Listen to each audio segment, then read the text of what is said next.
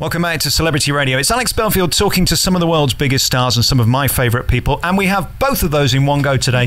Mrs. Levitas, how are you? I'm very good, thank you. Still getting used to the name. It's strange, isn't it? I mean, here we were in 2008 doing the last hour special for the BBC, and we've spoken in between at various concerts. Your life is extraordinary, and it just gets better and better, and you presumably are the most happy you've ever been. This is honestly the best year of my life. Um, I feel so lucky. I think generally you feel like you're either you're career's having a good year or your personal life's having a good year. Um, I don't think I've had one where, you know, I felt like they've been on an equal footing and yeah, it's the best year ever and I, I don't want it to end. How does it feel when you've got it right and you've found the person who makes you feel whole and content and wonderful? It just everything clicks into place and you know when you know and that's the that's the only way I can put it. I don't know how I know but um, it's it's right and I, am very very happy. I know the last time we spoke we spoke of spirituality and those guiding you from above. How do you explain it? Because it sort of came out of the blue didn't it? We share a lot in common anyway. Um, aside from the obvious being that we're both artistic people he's a sculptor and a painter and a filmmaker um, we both lost our fathers to lung cancer when we were young.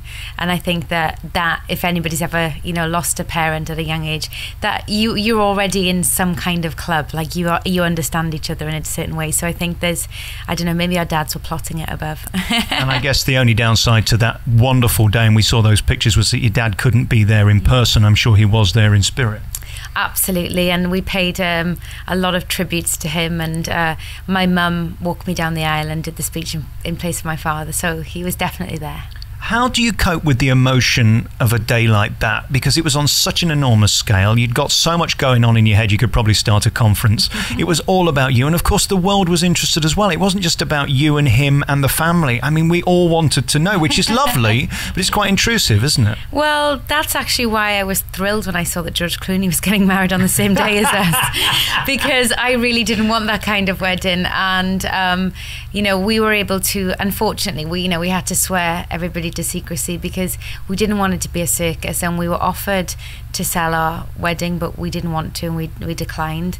Um, and so we just we just wanted to be a normal bride and groom and just have all the family over and not be a showbiz event and have a day off and enjoy it. And we were lucky because um, okay it came out the day before but we we got a run up without people knowing and therefore we had a, a fairly normal day for us and it was fantastic is it still extraordinary that we care? I mean, I spoke to you about this last time. You are so exceptional and brilliant and talented. And you are not normal in a sense that you're that brilliant, but at the same time, you're just a normal girl from Wales who wants to be normal. Do you get fed up of people like me talking to you about it?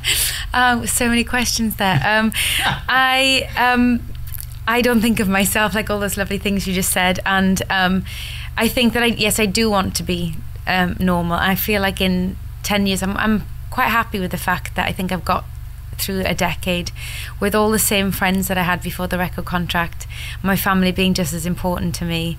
Um, and I still feel like, okay, I'm more confident, but I think that comes with age. I understand my job better, my performance skills are more developed. But ultimately, I think I'm pretty much the same person. So um, I think that's something to be really, to be happy. I'm not, I'm never going to get used to people running with me with cameras in the park. I'm never going to get used to people wanting to look in, you know, talk to me in the shops. That's a nice bit of it, but you know, every job's got ups and downs. I always say there are certain people in life who are blessed with everything. Look at this face. This is not a guy that's oh, been blessed. but when I look at your CD and then I look at your CV and then I look at you, I think you really have got everything. I mean, you've got the beauty which is appealing. We don't want to look at ugly people, let's be honest. And then I listen to this new CD and your voice is as strong, if not stronger than ever. That tone and that richness is just getting better and better and better. And I've seen you live, I don't know, 10 or 15 times over the years at various events, and you hold that audience in the palm of your hand. I wonder how you view yourself. Do you know how good you are at what you do?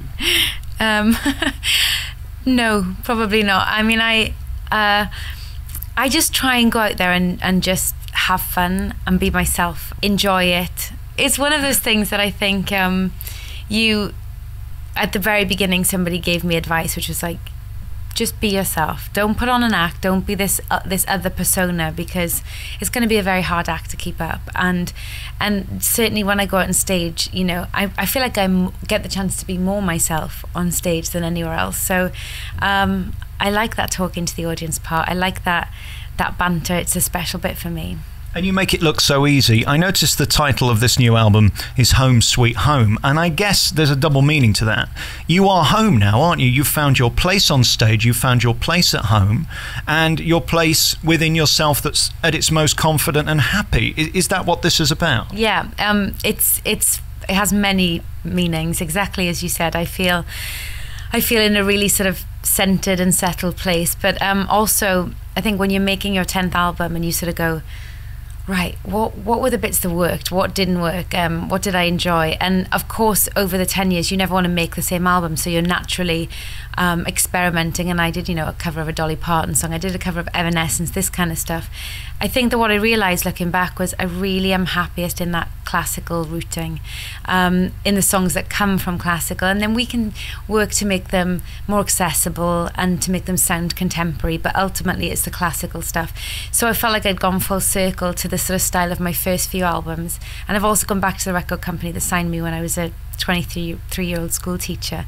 So to like be back with them and back with the original team, it just feels like I've come home in a musical sense. And um, with all the traveling of the past decade, um, it it's also nice to feel like okay, I'm back in the UK. This is where I feel so proud to have come from, and so as a little tribute to Wales and to the UK. It's interesting as well. I'd written on my list that we haven't even got to yet about travel because your life is torturous in a way. You're on these planes where everybody's coughing and sneezing, and then you've got to go and perform.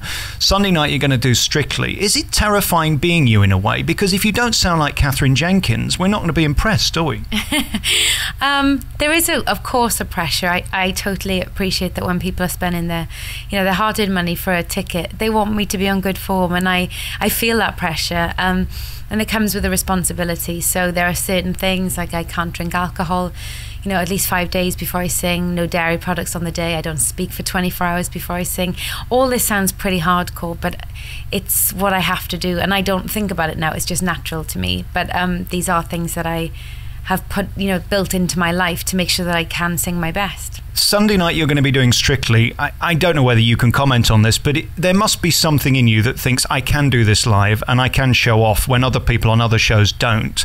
Does that mean a lot to you that you give a live performance? Because doing it to a tape, anybody can do that, can't they, really? I think it honestly depends. Um, who the artist is. Personally, I think if you're going to, um, you know, classical musicians I, I hate I hate it if somebody asks me, can you mime for you know, sometimes there's a technical thing, like they're filming something in a certain way, maybe it's outdoors, they haven't got the sound quality, they may ask you to mime, in which case that usually really upsets me. I will always choose to sing live. Um, and I think that of course if you're doing a crazy dance routine sometimes, you know, maybe you can't um, sing, but you know, it's it's their choice. But me, I'm I'm happy. I get to I'm happy that I get to sing live, and it would always be my my option. And that, of course, is where you're home. Can anything go wrong now? I mean, I imagine when you're on stage, even if the mic went down, you'd carry on, wouldn't you? You seem incredibly confident, or is that all facade? Oh no, I've I've learned. I think over the years is you know if something went wrong on stage now, I know how to handle it in the first year, I probably would have had a panic and a, you know, I would have lost myself. But now you've got to look at these, you know, whether it's you forget the words or your dress pings off, you know, like a strap happens, you get so there's so many things that can go wrong. Um, the mics fail, the lights go out, whatever. You've just got to kind of laugh and get on with it and make it, you know. I usually tell the audience when something goes wrong and I make a joke out of it because, you know, those are the things that make you remember a concert as well. You know, do you remember that time when, and you do remember, you know, of all the concerts, I can remember those things. And it's special. Um, talking of things special, you give so much of yourself to charity, and this is something that I, obviously is not you're doing for PR like so many do.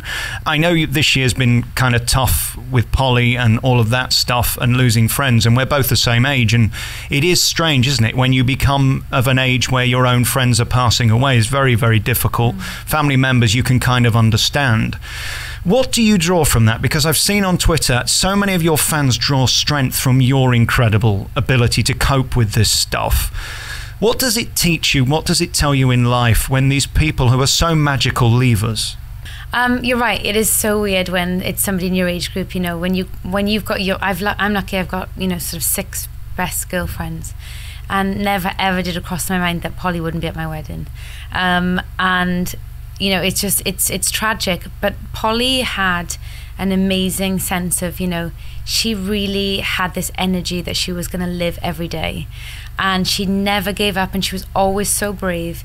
And if she was here, she'd be the first one, you know, jetting off to visit some place she'd always wanted to go or the first one on the dance floor at a party and and that's really my thing is that you know I almost feel like well I'm lucky that I'm here and I have to live the life that she would want. And I have to take inspiration from the from her attitude. And that I learned that lesson from my dad too.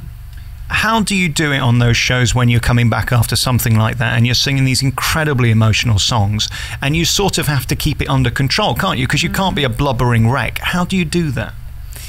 It's a really hard one because the minute you cry um, or you lose focus, the voice goes. And um, you know, I I have sung at a lot of different difficult situations, but I think probably the two most difficult times to sing, one incredibly happy, one incredibly sad. I sang at I sang at Polly's funeral, um, and it was almost a case of literally having to mentally zone out to be able to sing the song because I wanted to honour her but not being able to um, almost really appreciate where I was until afterwards. And then, you know, and then I was a mess afterwards, but I had to sing the song.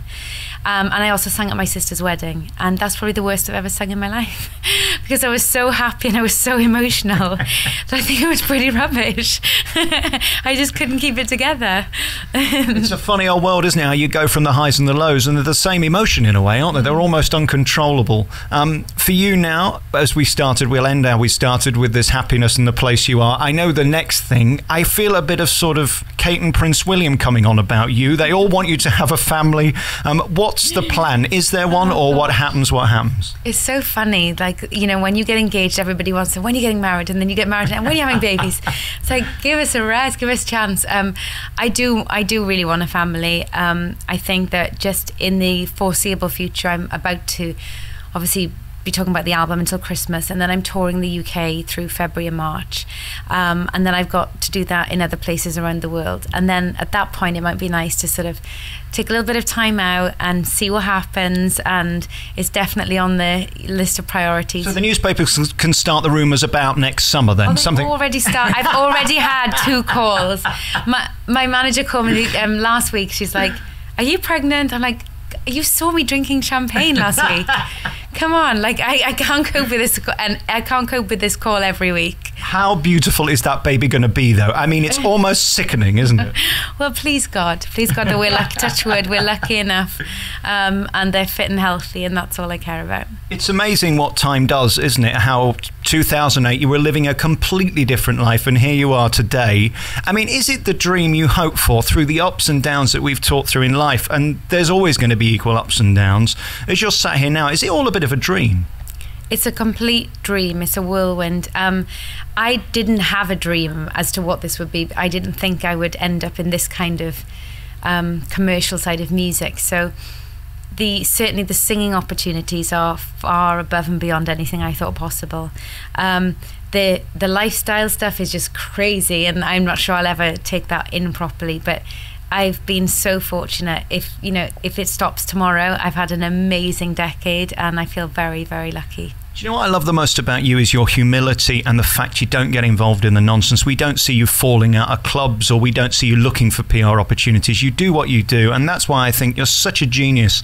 And you really are at the top of your game for that, and you should be applauded for it. Seems like everybody's making headlines for, for no reason. You just do what you do and make that sing for itself, don't you? Well, I, I always just wanted to be a singer. Um, I'm not really that interested in, in being a celebrity. I know that I think we've got a um, a thing in the UK of sort of talking about fem- successful females that they have to be sort of ambitious and driven and all this kind of stuff. I just think I work hard and uh, I want to have the musical opportunities. So all the rest you sort of have to do to make those happen. Um, and that will always the music will always be the priority and the bit the reason why I do the rest of it. It's why I don't believe in tokenism. I think it does people like you a disjustice because, you know, the most powerful woman in the world is Oprah Winfrey. She's black and a woman. The best singer in Britain is arguably you and you're female. You don't need token gestures, do you, to be given in your place? And it almost sets you back by doing that. It's pointless. Um, I do think that, you know, women are. Um, I don't know, it's sort of sometimes get a little bit of a um, unfair run. Um, but you know, it is what it is, and um, I can't complain. I've I've got an amazing job. I'm lucky that I get to sing. I'm lucky that people want to come and hear me, um, and so you know, we have to take the rough with the smooth. I hope you know how much we love you. The fans on these websites where I put these interviews up just adore you. Aww. From my grandma to my mother to myself, you've just got a warmth about you, and I wish you every happiness in the future. Katherine Jenkins, your new album is out now. It's called Home Sweet Home. It really is tremendous, and it's you doing what you do best. And of course, on tour next year. Look forward to seeing you. Thank you for your time. Thank you. Such a lovely interview. Thank you.